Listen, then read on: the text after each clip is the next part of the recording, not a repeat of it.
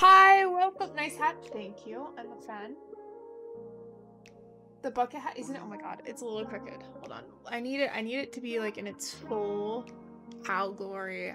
Yes, so also by the way, spoiler alert, I actually have built Karas before. So I built two. I built the Soya and the blue one from the original run.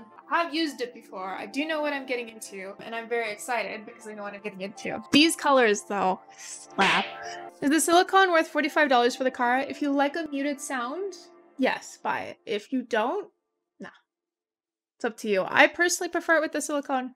but It is entirely your decision. So, I have already filmed an unboxing of these on TikTok, so you guys aren't gonna get too pretty. But essentially, the Kara will come in a box like this. You have an assembly manual, very handy, 10 out of 10. Um, this is the silicone pad that will go between our plate and PCB. Um, it also has our plate in here as well. And then here are our units. So this is it in mint. I think this might be my favorite after puff. Um, I was stupid when they asked me what colors I wanted. I said mint and Momo because I thought you guys would need to see that the most because puff is just obviously beautiful, but I'm now regretting not getting puff myself. So this is mint. And then over here, we have Momo. Look! Alright, so here it is in Momo. Also, I keep saying puff. I mean musk. I'm so sorry. Musk is the is the pink one. But there we go. And then here we have our accessories box. So this is where all of the hardware, etc. comes in. Um, so yep, I have here the screws, the feet, no, the screws, the cable, and the Allen wrench. I'm going to use everything that comes in this package just like to help you guys for when you get yours in. Um, it also comes with keycap puller as well. I love the updates they made to the keycap puller, by the way. The feet are here, and then additional screws and the silicone dampener. And then it also, of course, comes with the hot swap PCB. Also, side note, because I know this is a concern some of y'all have, um, the PCB does come with per key, but not underglow. Other than the color, anything different for round one versus round two of Kara? Um, yes, not design-wise. Design-wise, it is exact same. This is the same keyboard, different colors.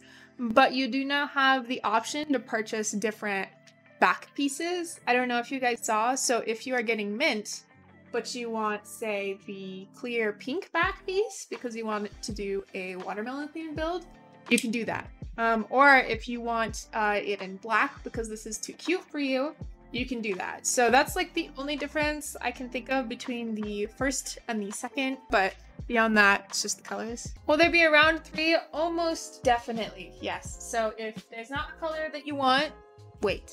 So we're gonna these mint ones, obviously, uh, with the gold wires. All right, I'm gonna put the silicone dampener aside for now. I would really like to build this one without the dampener.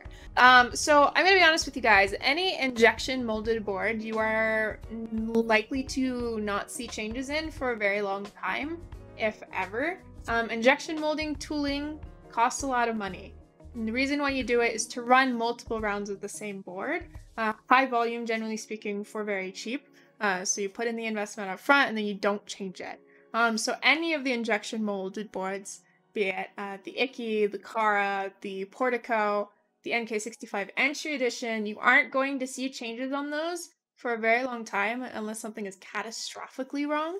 Uh, because the tooling to make these is very expensive, and the only reason you would invest that much money is to run multiple rounds. That color slaps. It's so good. Did you keep your other two Kara? Yes, and I used them regularly. In fact, Alan stole one of them.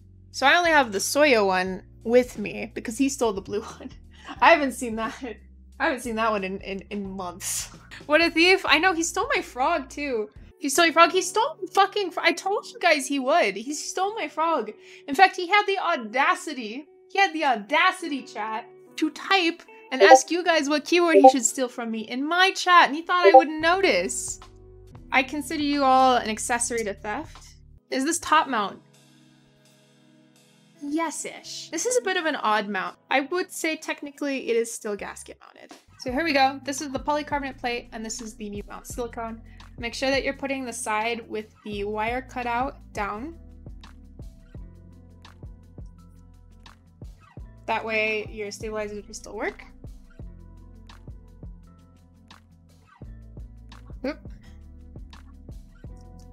And make sure you put your plate the right way, like I almost How much does this keyboard cost? $160. I want to go to the keyboard meetup so bad. Oh yeah, I forgot to announce. I will be at the Novel Keys keyboard meetup. Um, you can find more information on that on any of their platforms or thekeyboardmeetup.com.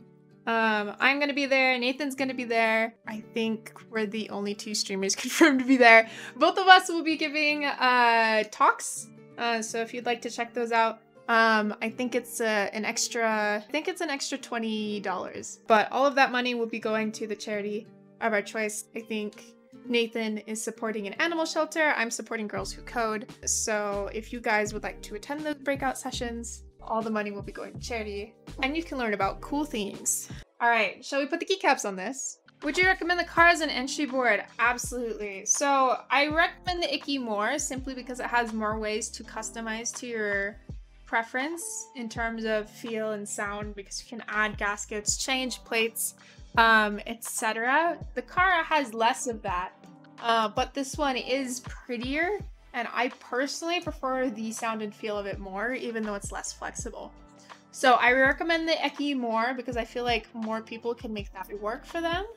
Um, however, I personally prefer this one slightly more. So this is the Kara in mint. So this is, wait, hold on, let me test these. Okay, we're good. this is the Rama Kara with Infinity Islander on it and KTT Peaches that have been lubed with 205 grade 0. C3 Stabs also lubed with 205 grade 0. And no dampeners uh, in it. Here we go.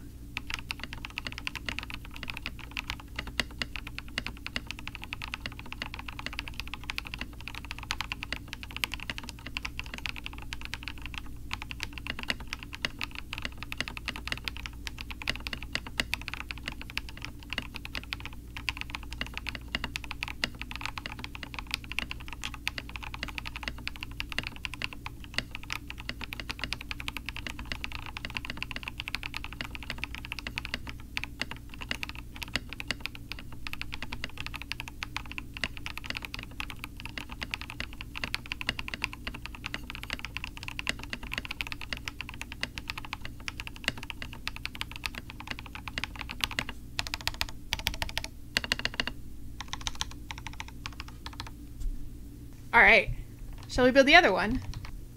I think we should do it with the dampener just once, especially since it doesn't take much time to put in. So for those of you who thought this sounded a little hollow for your liking, there is the dampener. What mount is the Kara? Yes. All right, are we ready for sound test number two, chat? So this is it with the dampener.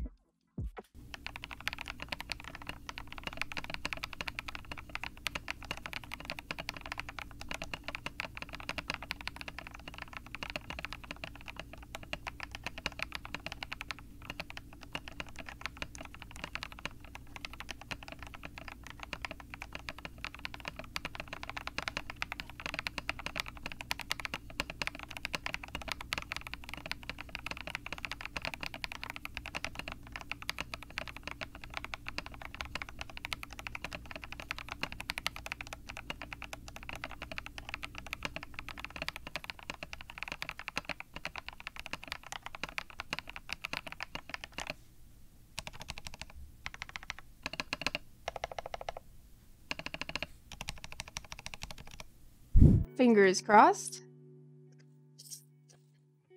Any dice. Any dice at all. Hold on.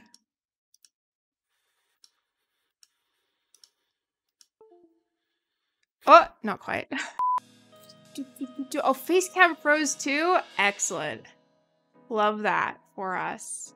So this is the uh, Momo with no dampening uh, and the Matrix stabilizers uh, that I lubed and haven't checked the lubing on, so if there's rattle, don't kill me. Um, and GMK and Cream.